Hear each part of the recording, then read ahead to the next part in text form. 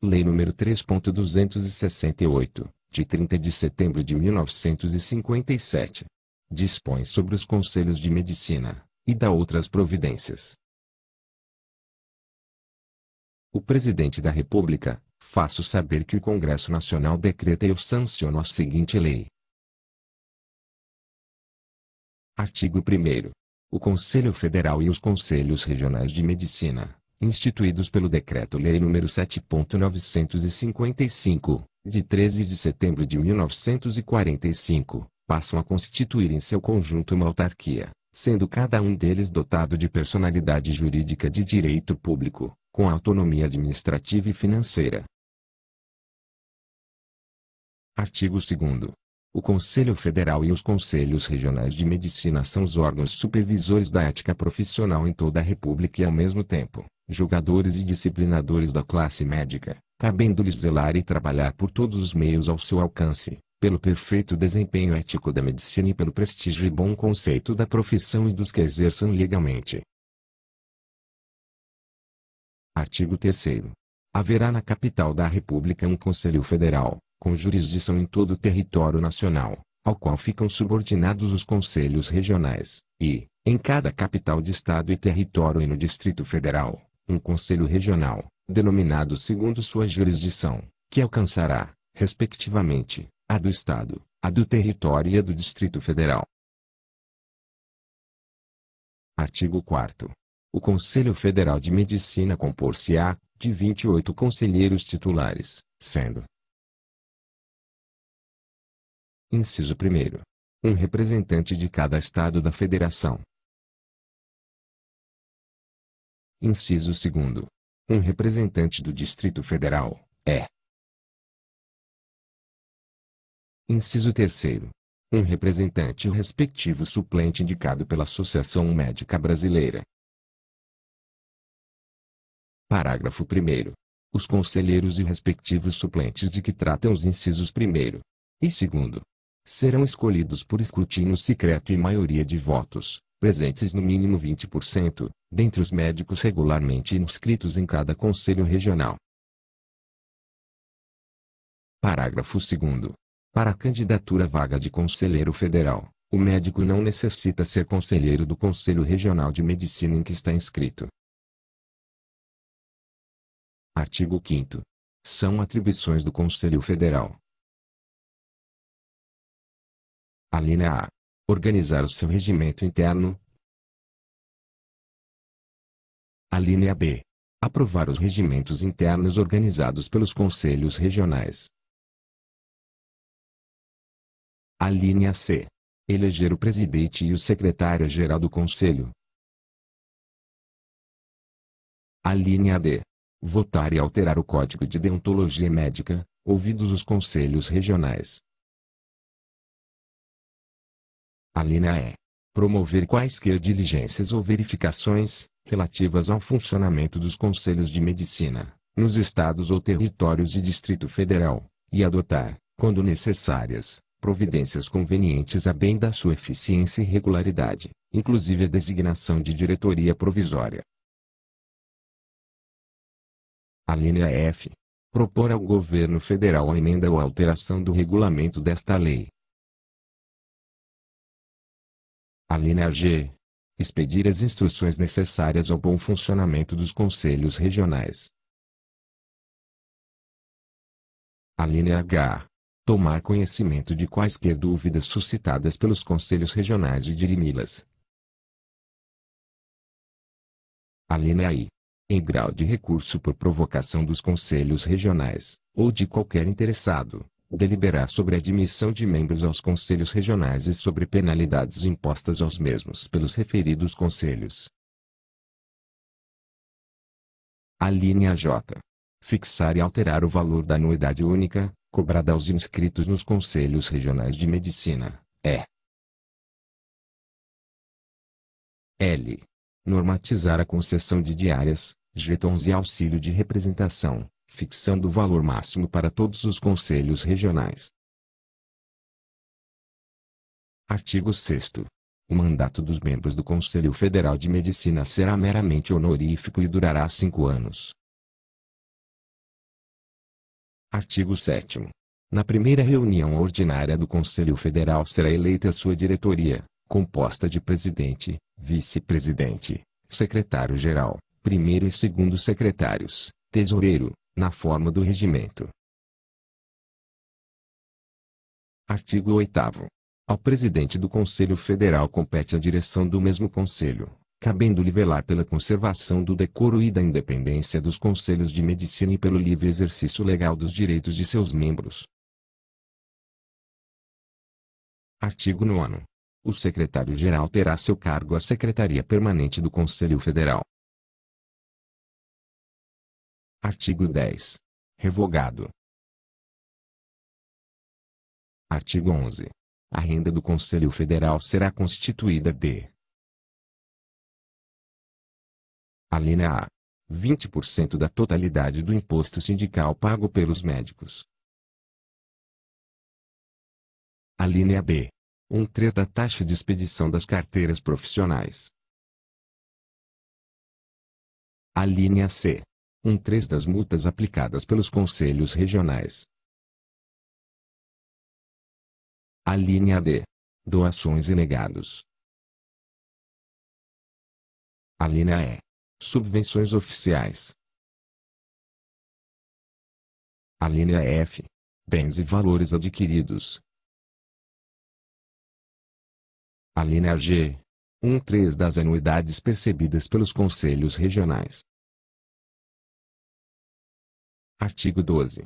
Os conselhos regionais serão instalados em cada capital de estado na de território e no Distrito Federal, onde terão sua sede, sendo compostos de cinco membros, quando o conselho tiver até 50 médicos inscritos, de 10 até 150 médicos inscritos, de 15 até 300 inscritos, e, finalmente, de 21, quando excedido esse número. Artigo 13. Os membros dos Conselhos Regionais de Medicina, com exceção de um que será escolhido pela Associação Médica, sediada na capital do respectivo Estado, federado à Associação Médica Brasileira, serão eleitos, em escrutínio secreto, em Assembleia dos inscritos de cada região e que estejam em pleno gozo de seus direitos. Parágrafo 1.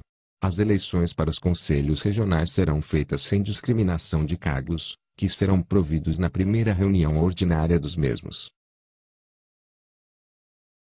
Parágrafo 2. O mandato dos membros dos conselhos regionais será meramente honorífico, e exigida como requisito para eleição a qualidade de brasileiro nato ou naturalizado. Artigo 14.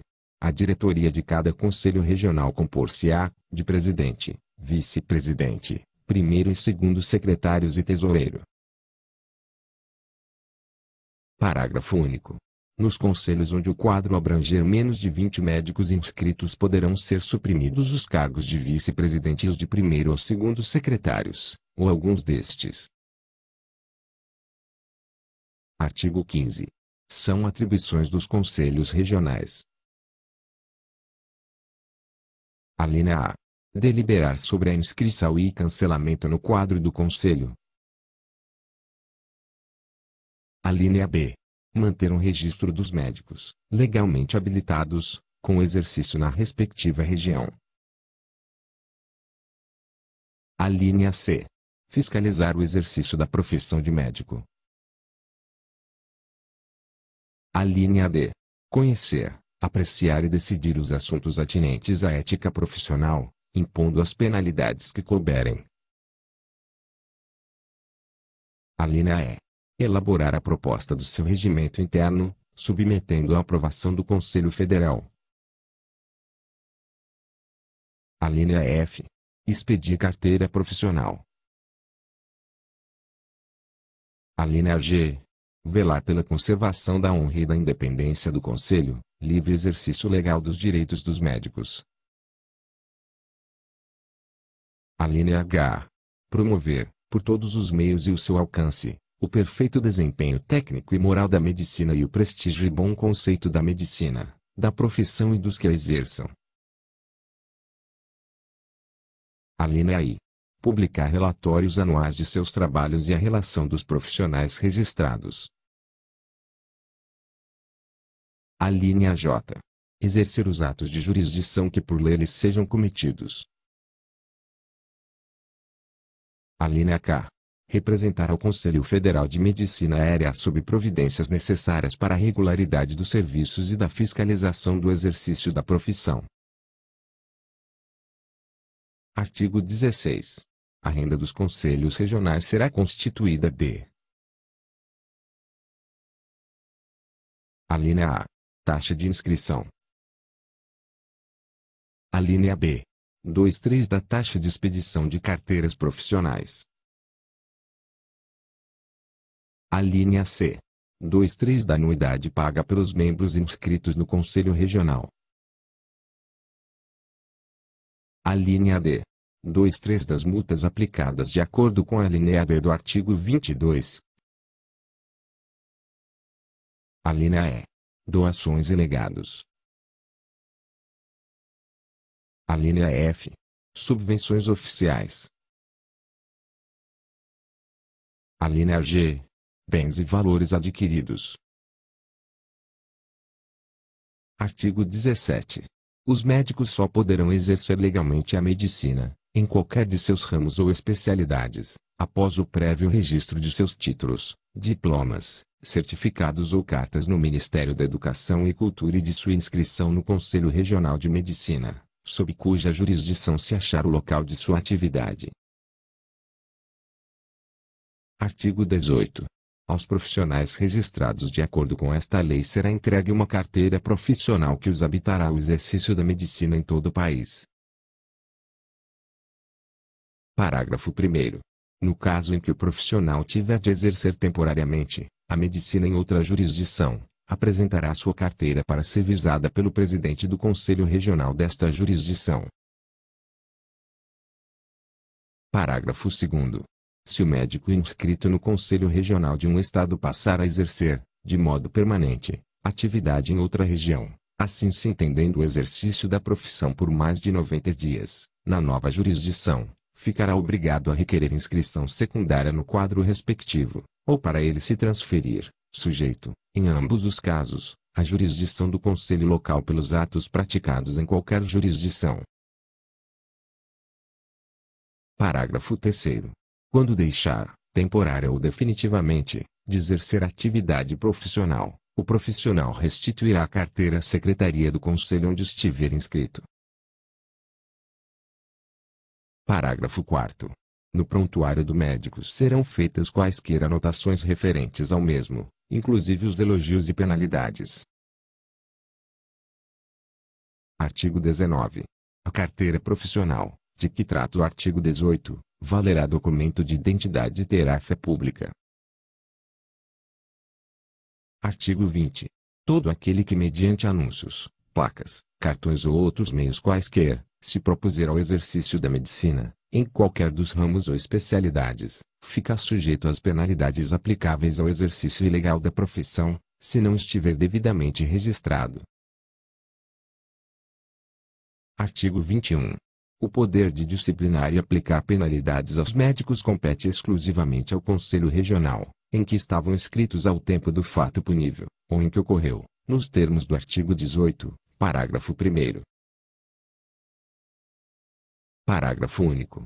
A jurisdição disciplinar estabelecida neste artigo não derroga a jurisdição comum quando o fato constitua crime punido em lei. Artigo 22.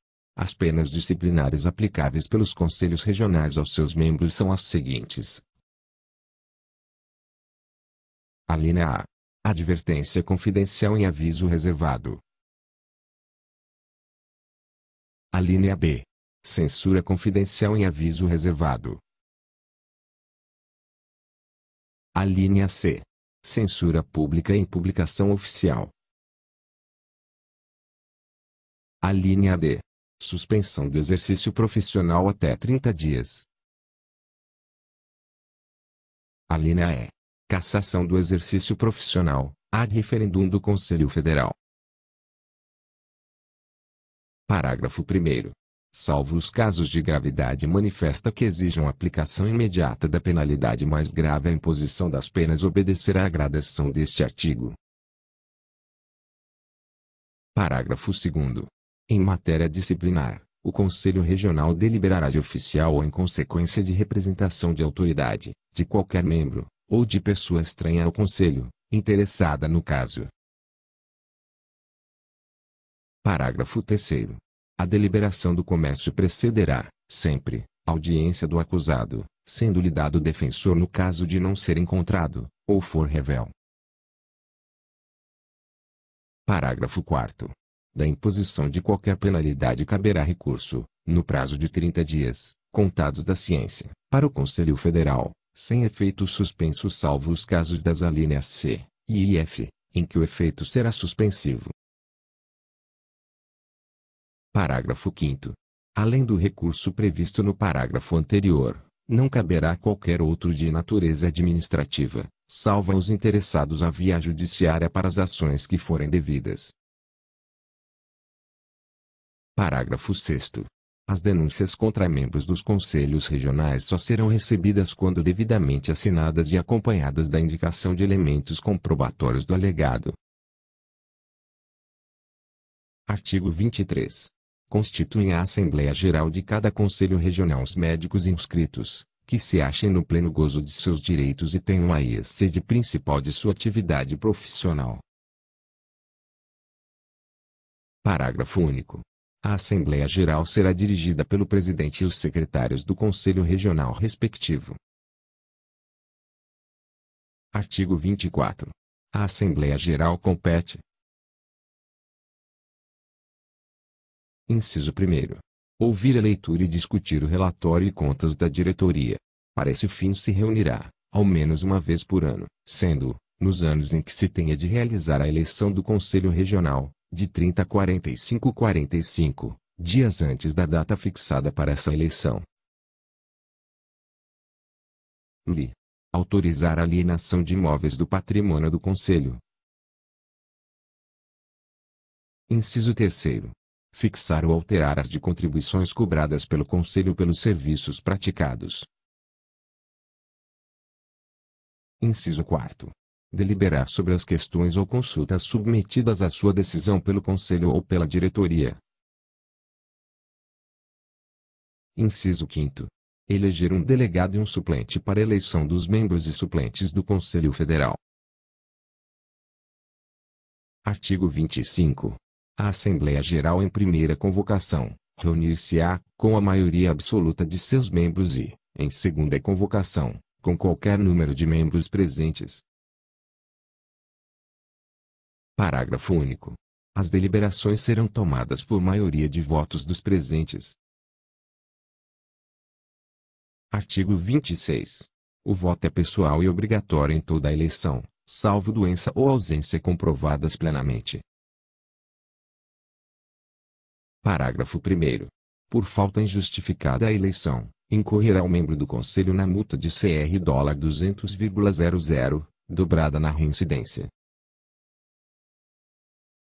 Parágrafo 2 Os médicos que se encontrarem fora da sede das eleições, por ocasião destas, poderão dar seu voto em dupla sobre carta, opaca, fechada, e remetida pelo correio, sob registro, por ofício com firma reconhecida, ao presidente do Conselho Regional. Parágrafo 3 Serão computadas as cédulas recebidas, com as formalidades do parágrafo precedente até o momento de encerrar-se a votação. A sobrecarta maior será aberta pelo presidente do Conselho, que depositará a sobrecarta menor na urna, sem violar o segredo do voto. Parágrafo 4 as eleições serão anunciadas no órgão oficial e em jornal de grande circulação, com 30 dias de antecedência. Parágrafo 5 As eleições serão feitas por escrutínio secreto, perante o Conselho, podendo, quando haja mais de 200 votantes, determinarem-se locais diversos para o recebimento dos votos, permanecendo, neste caso, em cada local, dois diretores, ou médicos inscritos, designados pelo Conselho. Parágrafo 6 Em cada eleição, os votos serão recebidos durante seis horas contínuas pelo menos. Artigo 27.